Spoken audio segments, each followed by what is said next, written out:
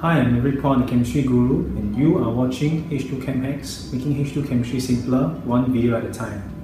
Now, basically, strong acids are acids that will dissociate fully in solution. So, if you have a strong acid, throw it inside water or you dissolve, dissolve it in solution, 100% of this acid will dissociate will give you ions.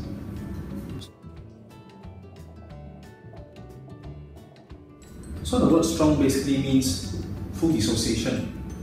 Now example will be our HCl. This is a strong acid. So if you dissolve this in solution, 100% of this will give me H plus and Cl minus. So it's being represented in equation form by a full arrow.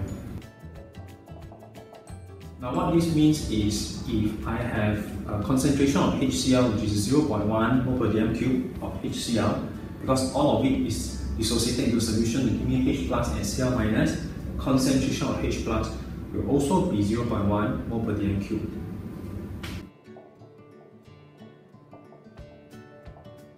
Now how do I find the pH of this strong acid?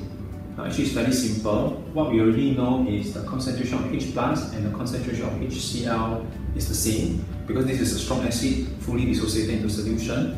So let me just write it as this.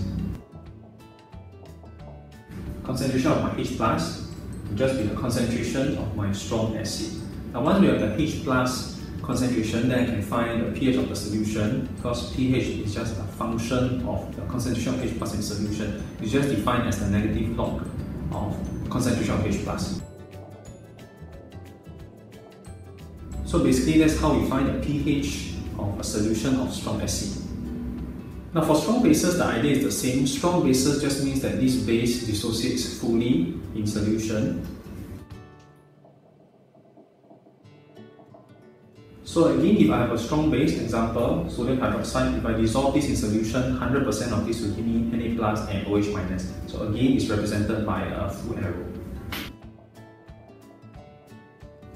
If the concentration of my sodium hydroxide is 0.1 mol per dm cube, then concentration of OH minus will also be 0.1 mol per dm cube because 100% of my sodium hydroxide is dissociated into solution to form my Na plus and OH minus.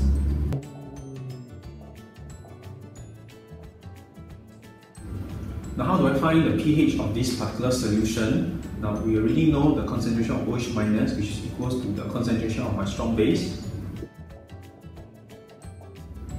So therefore the next thing we can do is we can determine the pOH of this particular solution. pOH again is just a function of concentration of OH minus in solution, just given as the negative log of concentration of OH minus.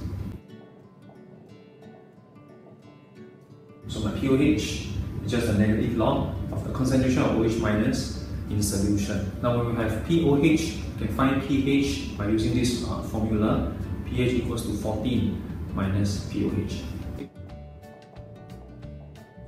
Now what we need to keep in mind is pH equals to 14 minus POH, this particular formula, it only works at 25 degrees Celsius or under standard conditions.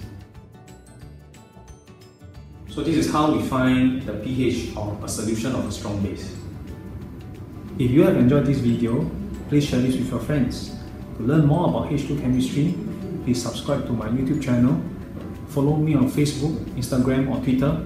If you want to know more about my H2 chemistry classes at Bishan, please visit my website. Thank you for watching H2 Chem Hacks. I hope I've made H2 chemistry simple for you. I'll see you next time.